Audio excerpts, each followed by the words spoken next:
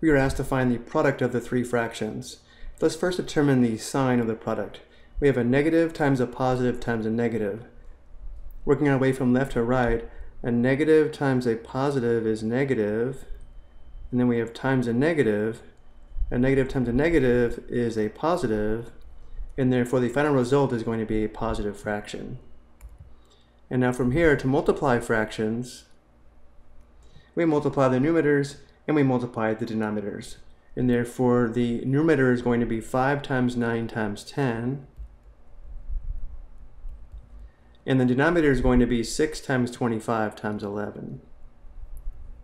However, it'll be easier to simplify before determining these products.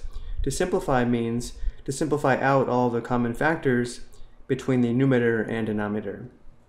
Notice 5 and 25 share a common factor of 5. There's 1 5 and 5 and 5 5s and 25. We just simplified out one common factor of 5 between the numerator and denominator. Notice 6 and 9 share a common factor of 3. There are 2 3s and 6 and 3 3s and 9. We just simplified out one common factor of 3 between the numerator and denominator. And notice 10 and 5 share a common factor of 5. There are two 5s and 10 and one 5 and 5. And then notice there's also one common factor of 2 between the numerator and denominator here. There's 1, 2, and 2 here, and 1, 2, and 2 here. Now that we've simplified out all the common factors other than 1 between the numerator and denominator, we can now multiply knowing the product will be in simplified form. In the numerator we have 1 times 3 times 1, which is 3.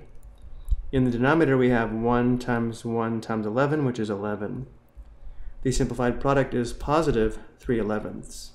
Now, I do want to mention, if this method of simplifying is hard to follow, we can look at the prime factorization of each of these terms, which will allow us to see the common factors between the numerator and denominator. So let's also show that method.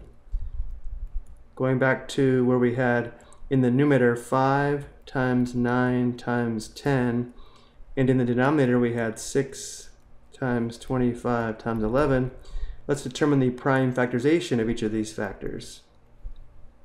5 is prime, the prime factorization of 9 is 3 times 3, and the prime factorization of 10 is 2 times 5. The prime factorization of 6 is 2 times 3, the prime factorization of 25 is 5 times 5, and 11 is prime.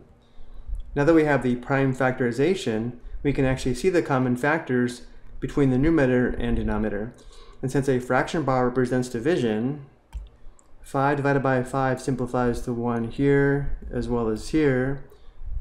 3 divided by 3 simplifies to 1 here. And 2 divided by 2 simplifies to 1 here.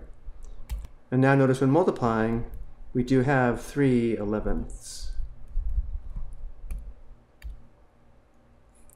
So use whatever method of simplifying works best for you.